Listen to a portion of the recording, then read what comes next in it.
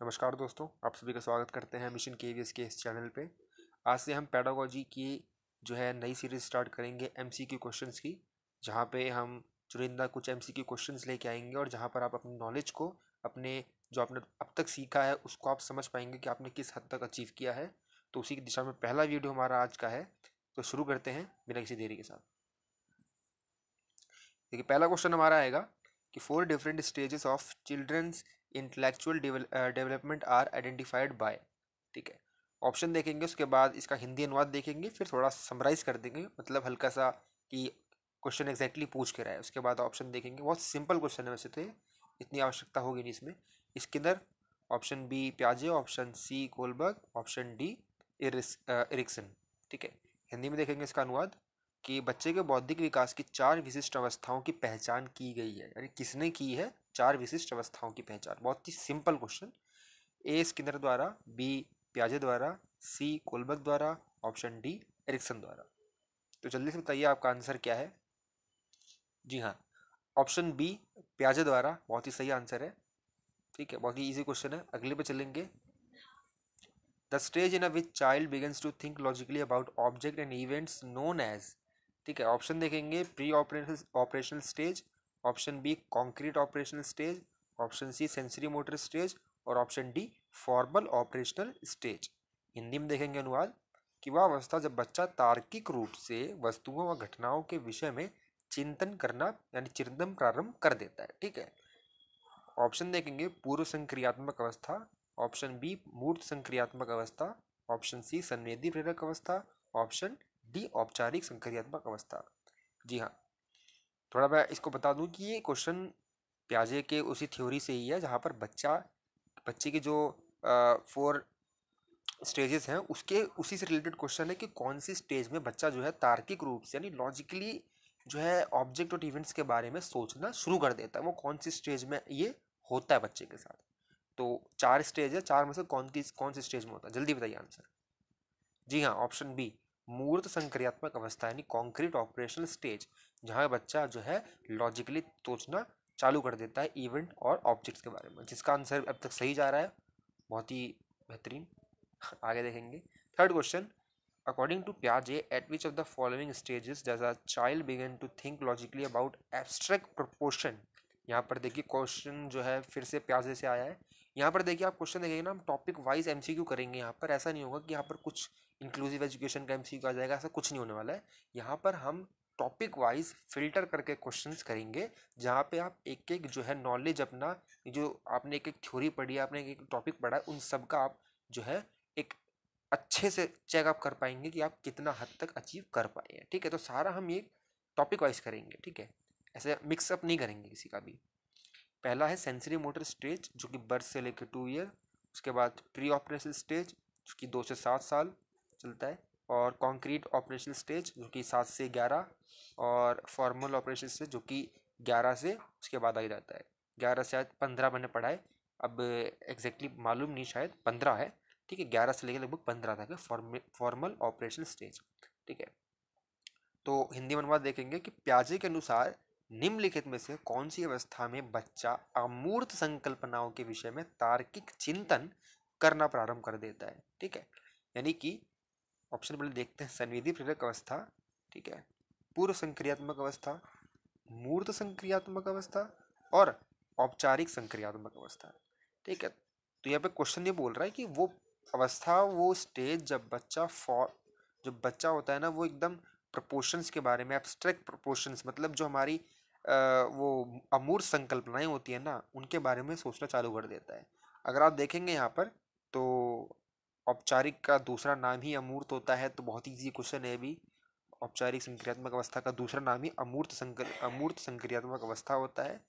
तो यहाँ पर इतना आपको दिक्कत होगी नहीं, क्योंकि यहाँ क्या होता है, इस वाली स्टेज में लास्ट स्टेज होती है, ग्यारह से पंद्रह वाली, इसमें बच्चा जो है एब्स्ट्रैक्ट प्रोपोर्शंस होते हैं, यानी कि जो उसके सामने चीज़ें नहीं भी होती हैं, उसके बारे में भी वो लॉजिकली सोचना चालू कर देता है।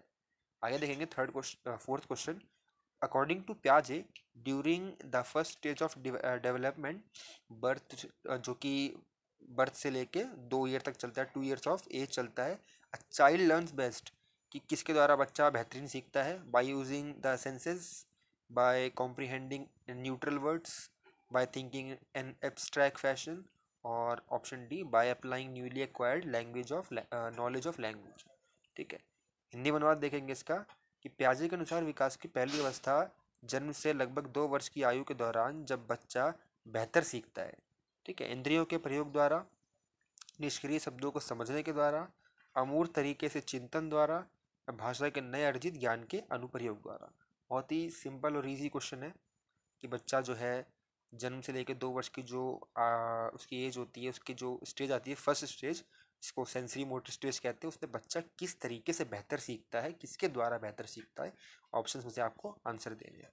जी हाँ ऑप्शन ए इंद्रियों द्वारा बाय यूजिंग सेंसेस ठीक है, बहुत ईजी क्वेश्चन आगे देखेंगे question five Vygotsky emphasize the significance of the role played by which of the following factor in the learning of children option देखेंगे कि बहुत ही सिंपल है, बहुत ही नोन क्वेश्चन है ये कि हेरिडिटी आप बताऊँगा बाद में थोड़ा। पहले ऑप्शन देखते हैं। Option B moral option C physical option D social कि वाई गॉड्स की, किस चीज़ पे एम्फोसाइज करते हैं कि किसके द्वारा बच्चा जो है, कौन सा फैक्टर है जिससे बच्चा जो है, बहुत ही बेहतरीन सीखता है और बच्चे की जो लर्निंग होती है बहुत ही अच्छे से होती है और इफ़ेक्ट भी करता है वो फैक्टर ठीक है? बहुत ही नोन क्वेश्चन वाइकोट्सकी बच्चों की सीखने में निम्नलिखित में से किस कारक की महत्वपूर्ण भूमिका पर बल देते हैं? बहुत ही आसान क्वेश्चन है ये कि अनुवांशिक है, नैतिक है और शारीरिक है या फिर सामाजिक है। जी हाँ ऑप्शन डी सोशल यानी सामाजिक है कि वाइगोट्सकी मानते हैं पूरी तरह से कि भाई जो बच्चा है उसका सामाजिक रूप से बहुत ही ज़्यादा फैक्टर जो है उस पर इफ़ेक्ट करता है। बहुत ज़्यादा। ऑप्शन सिक्स देखेंगे सॉरी क्वेश्चन सिक्स देखेंगे। According to Kohlberg a teacher a teacher can develop develop values in in children option A giving importance to religious teaching option B laying clear rules of behaviour option C involving them in discussion on moral values option D giving strict instruction on how to behave ठीक है? यहाँ पर हम देखेंगे हिंदी अनुवाद। कोल कोल Kohlberg के द्वारा कोलबक के अनुसार शिक्षक बच्चों में नैतिक मूल्यों का विकास कर सकते हैं। यानी कैसे कर सकते हैं? उसके चार ऑप्शन तीन में से कौन सा बेहतर ऑप्शन है? ठीक है? धार्मिक शिक्षा को महत्व देकर क्या? क्या व्यवहार के स्पष्ट नियम बनाकर कर सकते हैं क्या? या नैतिक मुद्दों पर आधारित चर्चाओं में शामिल करके कर सकते हैं क्या? या फिर कैसे व्यवहार किया जाना चाहिए, इस पर कठोर निर्देश या रूल रेगुलेशन बना के ऐसे क्या मॉरल वैल्यूज़ का विकास कर सकते हैं क्या टीचर कुलबक के अनुसार क्या है क्या कहते हो तुम? तो यहाँ पर आप बताओ option A B C D कौन सा सही है? ठीक है? जी हाँ लेवल ऑफ़ क्वेश्चन देखेंगे धीरे धीरे बढ़ेगा, घटेगा तो यहाँ पर आप ऐसा मत समझिए, बहुत ईजी क्वेश्चन है।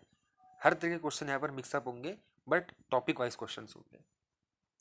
तो यहाँ पर ऑप्शन हमारा हमारा आएगा ऑप्शन सी नैतिक जो मुद्दे होते हैं, यानी कि इन्वॉल्विंग दम इन डिस्कशन यानी कि डिस्कशन जब करेंगे बच्चे मोरल वैल्यूज़ के ऊपर, वहाँ पर जो है, वो डेवलप कर पाएँगे नैतिक मूल्यों का, क्योंकि वहाँ पर उनको फ्रीडम मिलती है, वहाँ पर उनको सोचने का और अपनी क्रिटिकल थिंकिंग को यूज़ करने का मौका मिलता है। क्वेश्चन देखेंगे seven according to Piaget's stage चूँकि कॉग्नेटिव डेवलपमेंट की चार स्टेजेस हैं ठीक है the sensory motor stage is associated with किसके द्वारा वो संबंधित है एसोसिएट है, देखेंगे। Option A imitation memory and mental representation option B ability to solve problem problems in logical fashion option C ability to interpret and analyse options option D concern about social issues ठीक है? हिंदी में देखेंगे कि प्याजे के संज्ञानात्मक विकास के चरणों के अनुसार इंद्रिय गामा, जो कि पहली अवस्था होती है हमारी सेंसरी मोटर स्टेज अवस्था के साथ संबंधित, यानी कि इनमें से जो ऑप्शन है, उनमें से कौन सा जो है, वो सेंसरी मोटर स्टेज के साथ कनेक्टेड है, ठीक है? ऑप्शन ए अनुकरण, स्मृति और मानसिक निरूपण। ऑप्शन बी तार्किक रूप से समस्या समाधान की योग्यता। या ऑप्शन सी सॉरी मैंने शायद ऑप्शन सी बोल दिया। ऑप्शन ये सी है, विकल्पों की व्याख्या और विश्लेषण करने की योग्यता। ऑप्शन डी सामाजिक मुद्दों से सरोकार। यानी कि बच्चा जो है सेंसरी मोटर स्टेज में उसका संबंध इनमें से किससे ज़्यादातर होता है? तो ऑप्शन कौन सा आपको सही लग रहा है, जल्दी बताइए। मतलब कौन सा सही है? सही तो लग रहे होंगे सारे, हो सकता है। ऐसा ही लगता है कभी कभार जी हाँ ऑप्शन ए अनुकरण स्मृति और मानसिक निरूपण इसका सही आंसर है, जहाँ पर बच्चा जो है सेंसरी मोटर स्टेज में अधिकतम इससे ही एसोसिएट होता है, इससे ही संबंधित होता है। आगे देखेंगे। ऑप्शन हमारा हो गया सॉरी क्वेश्चन हमारा at the stage of cognitive development according to प्याजे in which a child displays object permanences बहुत ही क्वेश्चन मज़ेदार है, बहुत बार आया हुआ है ये के वी एस सी टेट बहुत, हर जगह आता है ये क्वेश्चन ठीक है? तो ऑप्शन है sensory motor stage option B pre operational stage option C concrete operational stage और option D formal operational stage Hindi में अनुवाद देखेंगे कि प्याजे के अनुसार संज्ञानात्मक विकास के किस चरण पर बच्चा जो होता है ना, वस्तु स्थायित्व को प्रदर्शित करता है है ना? ऑप्शन ए संवेदी प्रेरक चरण चरण। ऑप्शन बी पूर्व संक्रियात्मक चरण। ऑप्शन सी मूर्त संक्रियात्मक चरण। या ऑप्शन डी औपचारिक संक्रियात्मक चरण।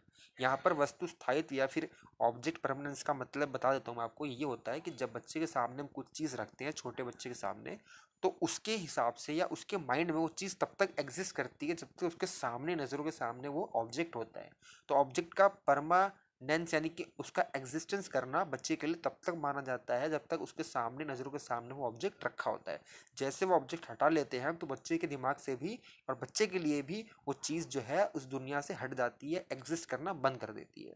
तो वस्तु स्थायित्व उसी को कहते हैं, यानी कि ऑब्जेक्ट परमानेंस तो क्वेश्चन यही है कि किस स्टेज में कॉग्नेटिव डेवलपमेंट के किस स्टेज में जो है बच्चा ऑब्जेक्ट परमानेंस का जो एक्टिविटी करता है, उससे रिएक्ट करता है। कौन से में वो प्रदर्शित करता है? तो जल्दी बताइए, बहुत ही मज़ेदार क्वेश्चन ए बी सी या फिर डी जी हाँ ए ऑप्शन है। सेंसरी मोटर स्टेज पहली स्टेज में ही बच्चा ये वाला एक्टिविटी करता है ऑब्जेक्ट परमानेंस की, जो छोटा होता है ज़ीरो से टू ईयर्स नाइन्थ क्वेश्चन देखेंगे। According to Kohlberg thinking process involve in judgement about question of right and wrong is called ठीक है? Option A, moral realism option B, moral dilemma, option C, morality cooperation, option D, moral reasoning. यानी कि Kohlberg के अनुसार सही और गलत के प्रश्न के बारे में निर्णय लेने में शामिल, अब देखो, निर्णय लेने में शामिल जो चिंतन प्रक्रिया को क्या कहा जाता है, ये पूछ रहा है, ठीक है? कंफ्यूज मत होना, थोड़ा हल्का ट्रिकी क्वेश्चन है ये। नैतिक यथार्थवाद ऑप्शन बी नैतिक दुविधा ऑप्शन सी सहयोग की नैतिकता ऑप्शन डी नैतिक तर्कणा। देखो क्वेश्चन समझना यहाँ पर क्वेश्चन ये बोल रहा है कि कोलबर्ग के अनुसार जब एक व्यक्ति सही और गलत का फैसला करता है, निर्णय लेता है तो उस वक्त जो चिंतन प्रक्रिया होती है ना, जो प्रोसेस होता है थिंकिंग प्रोसेस उसको क्या कहते हैं, यहाँ पर वो पूछा गया है, ठीक है? थिंकिंग प्रोसेस जो होता है, उसको क्या नाम दिया गया है? तो कोलबर्ग ने उसको क्या नाम दिया? जल्दी बताइए। जी हाँ ऑप्शन आपका बी नैतिक दुविधा। मोरल डिलेमा होता है वो थिंकिंग प्रोसेस वो प्रक्रिया होती है जहाँ पर बच्चा जो है या फिर कोई भी बच्चा या बूढ़ा कोई भी है, वहाँ पर वो सही और गलत के प्रश्न के बारे में जब निर्णय लेने में स्थिति में होता है, वो सही सही जो है प्रश्न का सही या फिर गलत निर्णय लेने में तो उस समय जो प्रोसेस होता है, प्रक्रिया होती है ना चिंतन की, वो हमारी नैतिक दुविधा या फिर मोरल डिलेमा कहलाती है। आगे चलेंगे क्वेश्चन लास्ट क्वेश्चन पे क्वेश्चन टेन पे। According to Piaget's cognitive theory of learning the process the process of which the cognitive structure is modified is called ठीक है, बहुत ही मज़ेदार क्वेश्चन है और आपने थ्योरी पढ़ी है तो बहुत ईजी कर लोगे आप.